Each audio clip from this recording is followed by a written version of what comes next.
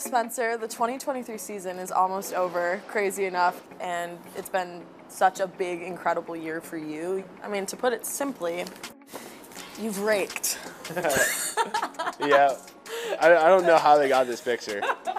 Was this not supposed to get leaked? Or Uh, no, no, it, either. can, it, it definitely, you know, Torkelson with a blast. That's out of here. His home run binge continues.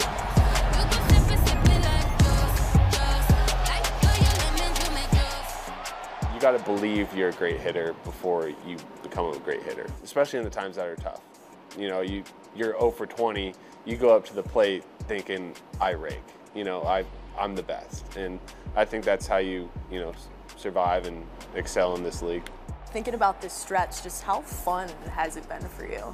It's been a lot of fun. You know, I've, there's been times where it wasn't fun too. So I mean, I think that's the beautiful thing about this game, is that regardless of how you're feeling, the game doesn't care. But you can also um, perform well at this level when you're not 100% every single day. So I think that's the most rewarding thing about this.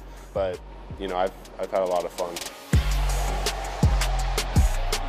Although I didn't have a great year last year, I really believed that I had moments where I was like, dude, I, I can do this. It wasn't consistent enough, but I was like, I, I can be the best. And I think it, was, it just kind of came down to just trusting it, uh, trusting my ability first and foremost, and then realizing that like I, if I just stay right where I'm at, um, don't get too high, don't get too low, like we're gonna look up at the end of the year and I'm gonna be all right. And I think that's that's been one of the more rewarding things about this year.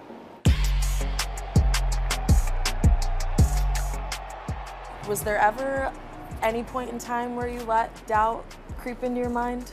I think every single athlete, every single baseball player will tell you there's a tremendous amount of doubt that they've had. Um, but I think that the biggest part for me in that is like realizing that that's totally normal. I think that's that's a privilege, you know. So I think realizing that um, your brain sometimes tries to play against you um, is kind of like a, a fun game you can play. Is like, oh, you you think I can't do this right now? Like I'm going to do this.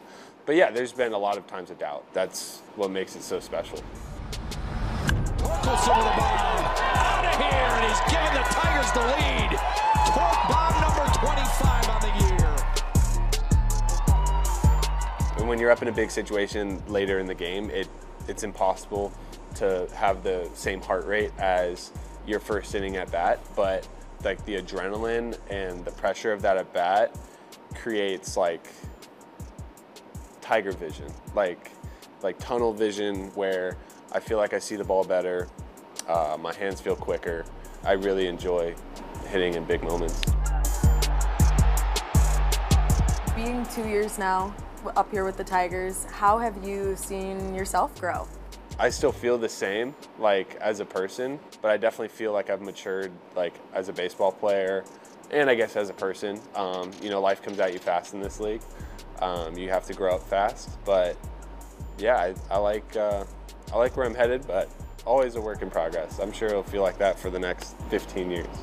How far can Spencer Torkelson take this?